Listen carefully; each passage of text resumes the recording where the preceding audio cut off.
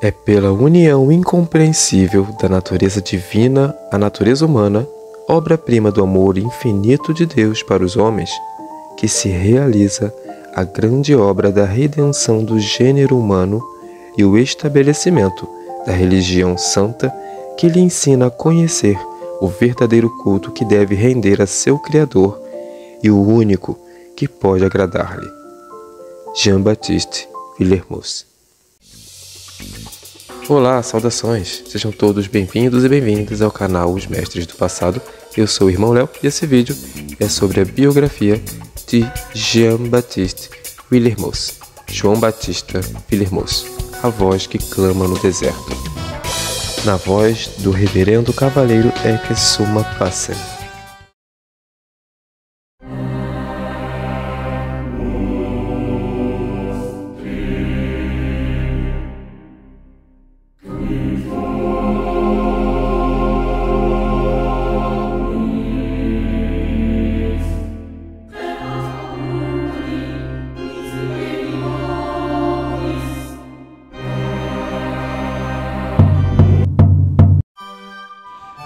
Jean-Baptiste Villermoz. Com o sol em câncer no dia 10 de julho de 1730 na cidade de Lyon, vem à terra Jean-Baptiste Villermoz. Filho de Claude e Catherine Villermoz, comerciantes da cidade. Seu tio era padre e vigário da igreja de Saint-Nizier. Villermoz era o caçula de 13 irmãos. A irmã mais velha, sua confidente, sua companheira na cena iniciática, Chamava-se Claudine Thérèse Villermoz, conhecida como Madame Provençal. Disse de Villermoz que ele era a marca da gentileza unida à dignidade, alto, com a fala lenta e solene, mas pronto a inflamar-se a qualquer sinal de desordem. Aos 12 anos, precisou deixar os estudos no colégio jesuíta Trinity College para ajudar o pai nos negócios da família. Aos 15 anos, em 1745, se tornou aprendiz em uma loja de comércio de seda. No ano de 1750, aos 20 anos de idade, foi iniciado na franco-maçonaria. Já aos 22, assumiu o cargo de venerável mestre em sua loja. Em 1753, com 23 anos de idade, fundou junto com outros oito irmãos a loja A Perfeita Amizade da qual deteve o primeiro malhete por oito anos. Aos 24 anos, estabeleceu-se como um grande comerciante no comércio de seda, o que proporcionou-lhe a estabilidade necessária para continuar fundando lojas, uma obediência maçônica, estudando e se aprofundando nos diversos ritos da maçonaria existentes em sua época. Em abril de 1760, fundou a Grande Loja dos Mestres Regulares de Lyon, que seria reconhecida pela Grande Loja da França, tendo sido presidente desta grande loja regional em 1762. Em 1763, tornou-se guarda dos selos e arquivos da Grande Loja da França e exerceu oficialmente essa função por 11 anos. Neste mesmo ano, fundou juntamente com seu irmão Pierre Jacques Villermoz o capítulo dos Cavaleiros da Águia Negra. Nele entraram os irmãos mais instruídos das lojas de Lyon. As reuniões eram secretas para evitar a curiosidade dos demais irmãos. Estudavam particularmente o simbolismo e a importância dos diversos níveis, graus e catecismos dos diferentes sistemas maçônicos em atividade já nesta época. Villermoz e seus companheiros refutavam e reprovavam vivamente os graus de vingança contidos em muitos sistemas maçônicos com relação aos supressores da Ordem do Templo acontecida em 1313. Os membros do soberano capítulo da Águia Negra estariam ligados aos Iluminados de Avignon, dirigidos por Dom Pernetti. Este tinha contatos com a estrita observância templária na Alemanha e provavelmente com a doutrina de Dom Martinez de Pasquali. Jean-Baptiste Villermoz tornou-se delegado geral da estrita observância templária para a região de Lyon pouco tempo depois. Durante uma viagem a Paris, em maio de 1767, encontrou-se com um Vicomte de la Chevalerie, substituto na Ordem dos Elos Correm do Universo no grão-mestrado.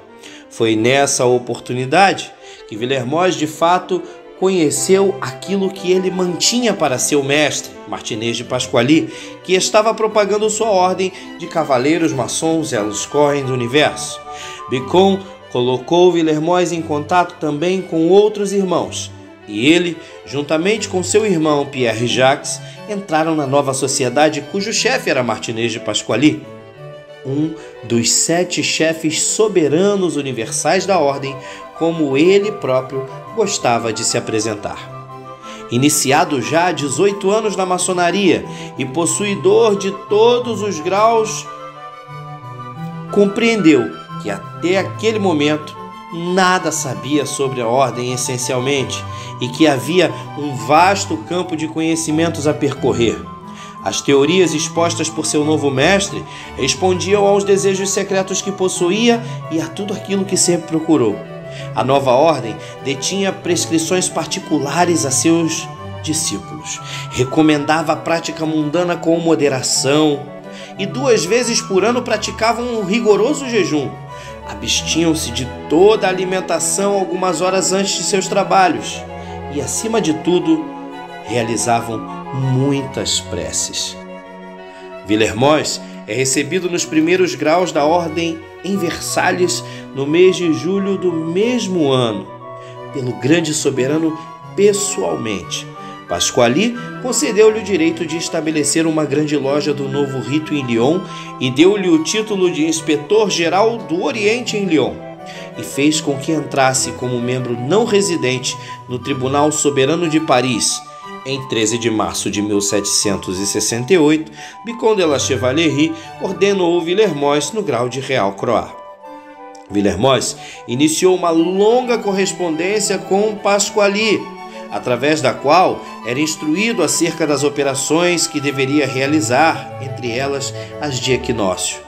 E em relação aos trabalhos diários, durante quatro anos, tentou em vão obter de seu mestre os rituais e catecismos que este prometia constantemente, resistindo como podia aos seus pedidos de subsídios. Todos aguardavam suas promessas. Os discípulos impacientes esperavam a manifestação dos sinais do reparador o mestre mandou que estudassem com mais perseverança ainda, que tivessem paciência e esperassem que a luz se faria presente no interior de cada um. Essa cobrança de que Villermoz foi o porta-voz parece ter irritado o mestre, que proibiu Villermoz de realizar os trabalhos em um determinado equinócio. Desde 1768, Villermoz mantinha longa correspondência também com Louis-Claude Saint-Martin, que na época era secretário de Martinez de Pasquali e que gerou entre ambos uma forte amizade. Através de uma correspondência escrita por Saint-Martin Villermoz em 11 de julho de 1770, Pasquali falou de seus mestres, sendo ele próprio apenas um intérprete, possuidor do terceiro grau de uma ordem originária dos legendários Rosa Cruzes. Através do venerável mestre da loja A Virtude de Metz, Meunier de Precourt, Villermoz ficou sabendo da sobrevivência da Ordem do Templo na Alemanha através dos Cavaleiros Teutônicos, que era a herança externa dos Rosa Cruzes, o verdadeiro legado interno. Nos primeiros anos de 1772, Martinez de Pasquali e Saint-Martin trabalharam assiduamente em várias instruções deixadas para Lyon. Além disso, o mestre ordenou as operações evocativas rituais para o equinócio da primavera. Enquanto isso, em Lyon, Villermoz não conseguiu obter nenhuma manifestação ou visão, nenhum passe, como foi dito na linguagem convencional da ordem. Mas Saint-Martin e Desiré tiveram manifestações claras, manifestações essas que fizeram com que Martinez de Pasquali ele próprio os ordenasse Real Croá em 17 de abril deste ano. Villermoz, neste ano, recebeu uma carta da loja Lacandot, de Estrasburgo, confirmando existir na Alemanha uma obediência maçônica rica pelo número e pela qualidade de seus membros. Fundada por superiores incógnitos e denominada Estrita Observância Templária, seu mestre era o Barão de Hund, e o objetivo, a prática das virtudes cristãs e o desenvolvimento moral e espiritual de seus membros. Tratava-se de uma maçonaria templária e ocultista. Seus membros estudavam cabala, alquimia e o ocultismo em geral. Villermoz foi conquistado ao tomar conhecimento dos objetivos altruísticos e da seriedade de seus trabalhos. Em 5 de maio do mesmo ano, com a partida de Martinez de Pasquali para Santo Domingo, a aventura com os Eluscoin fora interrompida, mas ficaram as lições de Lyon. Saint-Martin viveu por um tempo junto a Jean-Baptiste Villermoz, Catarine Villermoz e Jacques Villermoz. Ao saber por carta da relação de Jean-Baptiste Villermoz com a estrita observância templária, Pasquali sentiu-se profundamente decepcionado com seu discípulo. Em dezembro deste ano, Villermoz fez contato com os irmãos do segredo, que dentro da loja Lacandan, em Estrasburgo, aderiram à estrita observância templária ou à reforma de Dresden. Então, Rodolphe de Salzmann, mestre de noviços do diretório de Estrasburgo, chegou a Lyon para fazer a iniciação de Villermoz e seus companheiros na Sociedade dos Filósofos Desconhecidos. Como Villermoz, Salzmann era um grande admirador do sistema maçônico. Villermoz ali obteve a corrente de Jacob Bohm ao ser iniciado por Salzmann e foi confirmada a linha mais antiga dos Templários. Em 1773, o barão Weyler foi a Lyon e iniciou Villermoz e seus companheiros na estrita observância templária, deixando instalada a loja escocesa retificada La Bienfaisance em condições de desenvolver independentemente todos os seus trabalhos. Isso aconteceu no dia 7 de novembro deste ano. Em 25 de julho de 1774, Villermoz tornou-se cavaleiro pelas mãos do Barão Weyler, comissário e visitador especial da ordem, que veio para Lyon da Alemanha somente para esta ocasião. A partir das atas do Convento Nacional das Três Províncias das Galhas, realizado em Lyon em 1778, que sob a influência de Villermoz, reelaborou profundamente os rituais e questionou a filiação templária da ordem para criar a classe de cavaleiros benfeitores da Cidade Santa, podemos conhecer qual era realmente o seu objetivo na maçonaria. Em 3 de agosto de 1774, Martinez de Pasquali escreveu uma carta consumido pela febre e também pela indignação causada pela notícia de que vários de seus líderes Real Croix, entre eles Bicon e Villermoz, haviam sido expulsos da ordem ao se filiar à estrita observância templária. Ele faleceu da mesma febre em seguida.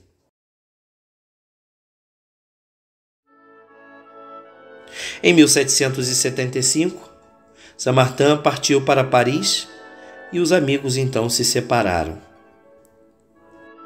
Nesse momento da história, nós vamos cortar para o segundo vídeo para poder desenvolver melhor a, o final da história de Jean-Baptiste Willermoz.